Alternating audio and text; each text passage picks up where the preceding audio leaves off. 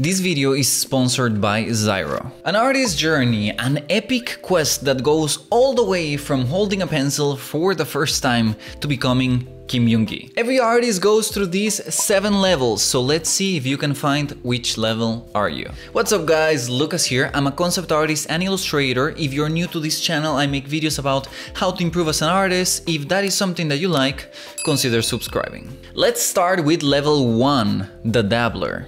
If you ever held a pencil when you were a kid, you were a dabbler. This level 1 artist draws things like houses with mountains in the back, clouds and stick figures, are their jam. This is the time when your mom's fridge was your gallery and you just didn't care if you were good or bad, because drawing was just plain fun. I was a dabbler my whole childhood, holding crayons because they just didn't trust me with sharp pencils and just going nuts, drawing everything that I thought was cool. Airplanes, dragons, trees and whatever this thing is. I don't have many memories of that time, but I remember that I got into drawing because I saw my cousin, my elder cousin draw and I just wanted to do it also, it just seemed like a cool thing. But being a dabbler is not only for kids. If you were fortunate enough to be a dabbler and also old enough to use sharp objects without the supervision of an adult, then you might have found yourself decorating school notebooks with doodles when you were boarding math classes.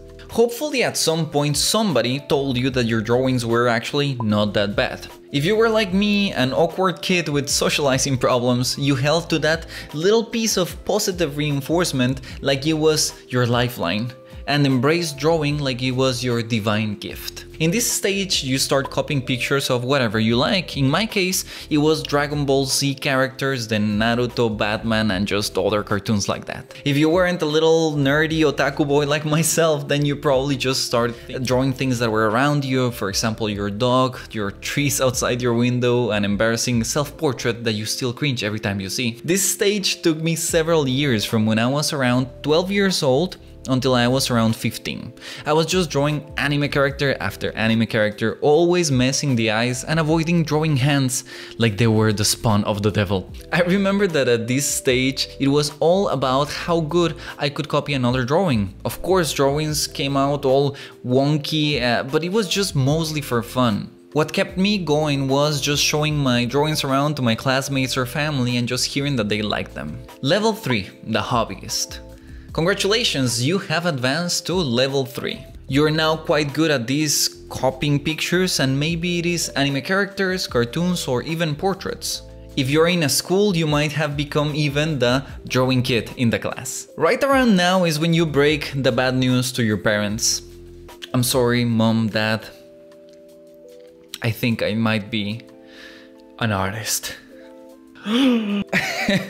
this was around 15 years old for me. I was going to have to choose a college soon, and I knew that I liked art, but I just didn't know how I could make a living out of it. I liked drawing anime characters, and the only two professions that I knew did anything with drawing were graphic designers and architects not really my cup of tea. So I started participating in little contests in my school, you know, drawing contests or a comic strip or maybe a mural or something like that. Right around this time is when I started posting my work online. Back then it was DeviantArt. That was the place to be for artists online.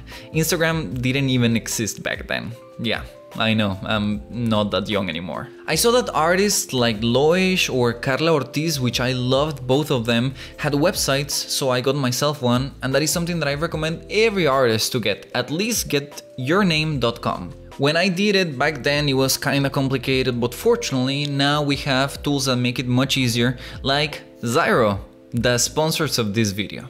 Zyro is a website builder that lets anyone create amazing websites and launch professional online stores with no coding or web design skills.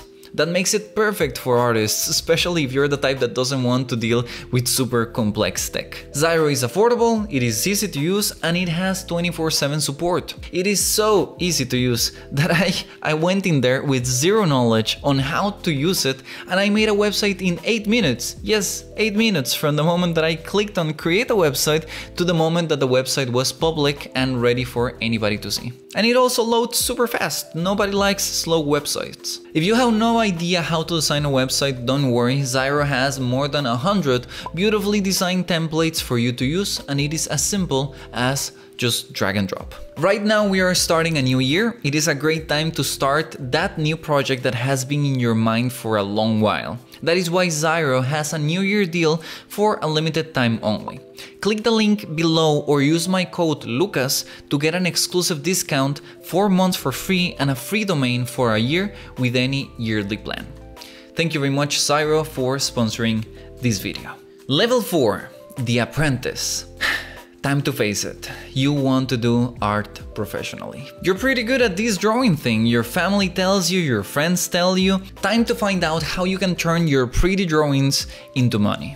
You watch YouTube tutorials, you read books, you ask that family friend that works as a designer, how do I become a professional artist? Also, most probably this is when you found me and this channel. You're trying to find answers everywhere. It is like there's this sea of nothingness that divides the place that you are right now, that is just drawing pretty pictures, to the place that you want to be being a professional artist. In your desperation, you go to Instagram and you see what all your favorite artists are doing. Yeah, some of them are copying pictures, but you already know how to do that. You want to learn more. You see that a lot of them are drawing original characters, they are inventing places from their imagination, creatures, scenes, everything. And you say, that's it. That is what I want to do. Create new things, not just copy pictures. How hard can it be? Let me tell you. When I tried to draw my first character, it broke my heart. It was like going back in time to the moment when I just didn't know how to draw anything. Now you're really worried. But how are you gonna make it as a professional artist if you cannot draw things that are not in front of you? I'm gonna tell you how. Enter level 5, the enthusiast. I got here when I was 17 years old, I finally enrolled in an art school.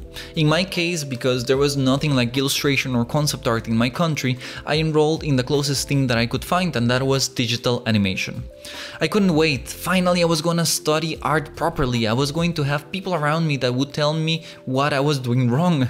Is art school the only way of getting to level 5? No, not at all.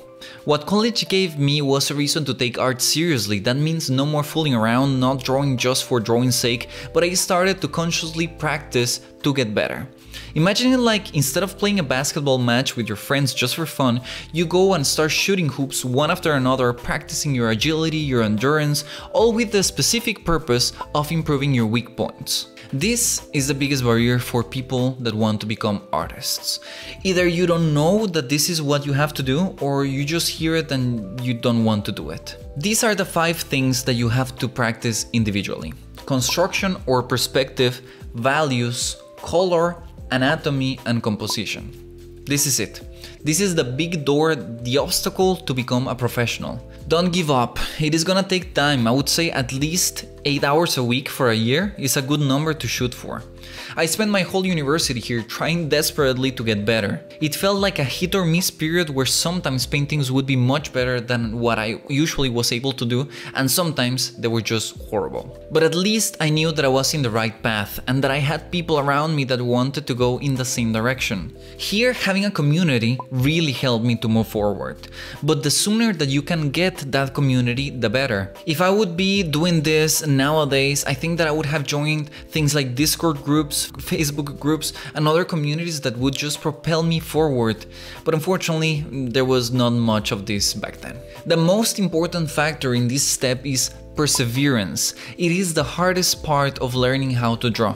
But if you can go through this, if you can go through these, each of these fundamentals individually and break them apart, you're gonna accomplish it. You're gonna be a level 6, an adept. Now we're talking.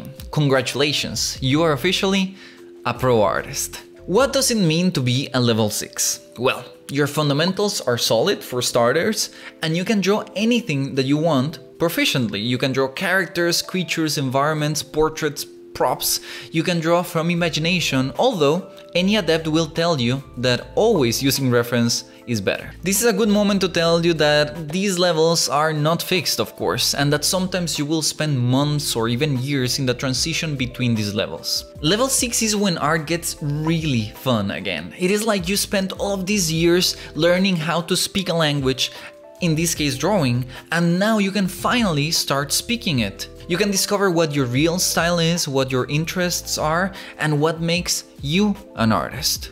I became an adept around 24 or 26 years old when I was hired in a very small studio back in Costa Rica to design characters and creatures for a little online game. I had so much fun being able to finally create and to finally paint things as I saw them in my mind. This is really something to look forward to. Before this, I was all the time wondering if I was good enough to make it. But I can promise, if you work on those skills, you are going to make it. Reaching this is a proof that drawing is 20% talent and 80% practice. So this is great, right? If you're here, you might be wondering, what is next? What can possibly be better? Level 7. The Master. The difference between an adept and a master is no longer what you can draw and what you cannot, it is all about what you decide to draw. I like the language analogy because it is a very close thing to what I mean. An adept, a level 6, can speak the language. Being a master is all about what you say and how eloquently you express yourself. Small things, very small things like the curve of a pose on a character, the simplification of a tree in a background, or how you can play with colors to trick the mind of your viewers. Being a master is true freedom with your craft. I am not there yet, I am 29 years old now and I have been enjoying being an adept for around 4 or 5 years now and I think that I am many, many years and many drawings away from becoming a master. But I will keep enjoying the journey, knowing that every painting gets me one step closer. Doesn't matter if you're a dabbler or an adept, remember the journey is long. So long that it is easy to lose sometimes sight of the goal. Every time you feel lost, just grab a pencil and continue moving forward. Thank you very much guys for watching this video till the end. If you want to see more of art content, don't forget to subscribe and also leave a comment. Tell me if this video resonated with you and where are you in this journey? What is your level? This was Lucas and I'll see you guys on the next video. Bye.